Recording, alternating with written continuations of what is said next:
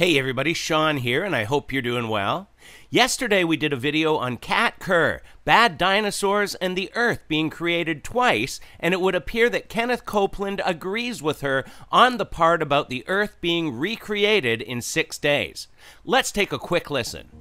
The fossil record doesn't lie. There's an enormous amount of time between Genesis 1 and Genesis 2. Enormous. He didn't create this world in six days. He recreated it. He replenished it in six days with words. And these are the blessed words of God. And we are out of time, but this wisdom that has come from Him is so precious.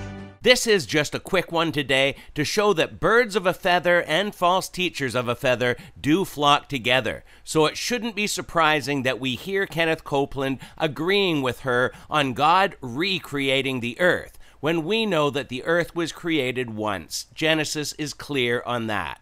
The idea of millions or billions of years occurring between verses 1 and 2 comes from what's called the gap theory and is an attempt to explain and date prehistoric fossils. This isn't a salvation issue, it's just an attempt to harmonize the facts of Scripture with the ideas of fallen men. Kent Hovind has a lot of teachings in support of a young earth if you're interested in studying this more. And once again, this video isn't about whether the earth is old or young. It's showing the agreed upon false teaching that God created the earth twice as agreed with by Ken and Kat.